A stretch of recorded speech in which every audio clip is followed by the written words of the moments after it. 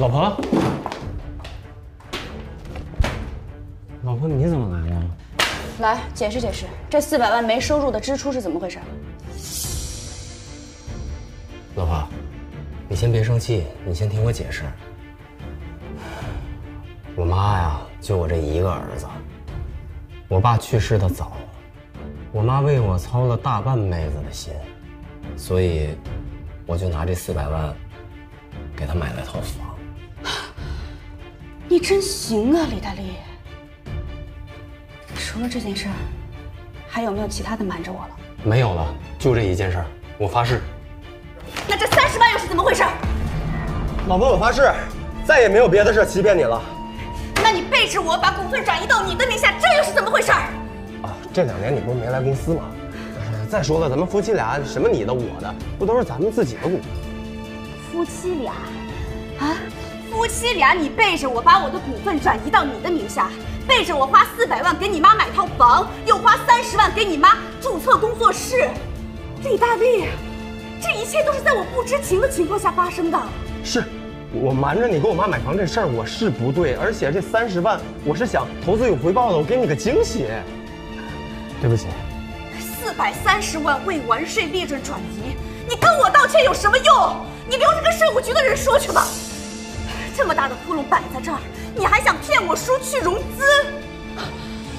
老婆，老婆，老婆，我求求你了，你千万别跟叔说这件事，我搞定行吗？我把房子、把车卖了，你相信我，这事我搞定。我已经没有办法再相信你了。老婆，你听我说，你等等，你看这样行不行？我把我法人的位置让给你，把公司的股份也让给你，这样你既是法人又是大股东，整个公司都是你的。我在你眼皮子底下，这样你放心了吧？李大力，我如果爱钱，当初就不会跟你在一起了。我知道，老婆，这次融资对我来说太重要了。如果成功的话，我们的生活都会有改善的。你想一想，咱们打拼这么长时间是为了什么呀？那不就是为了这一天吗？好，这是我最后一次给你机会。我希望你不要辜负我。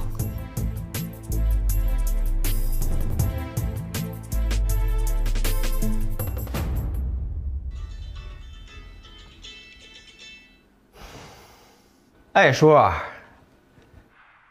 李大力，我听说我派出来的尽调律师被你妈打了。叔，其实这是个误会。误会？你是蔑视我，还是蔑视这次投资呢？居然让如此恶劣的事情发生！你妈居然在大庭广众之下就动手殴打了我的侄女艾青，律师劝阻，还被打伤了。呃，叔啊，您听我解释啊。你不用给我解释。李大力，有很多各方面都比你们公司优异的同类型公司都想让我们投资。我给你们机会，是看在爱青爸爸当年对我们的恩情，看着艾青的面子。至于这件事怎么解释，我只听艾青的。好的，叔，这样，到时候我让爱青亲自跟您解释，好吧？爱青是个好孩子，他对你也是一片真心，你应该好好的珍惜他。好的，叔，我知道了。嗯，嗯，我会好好照顾他的。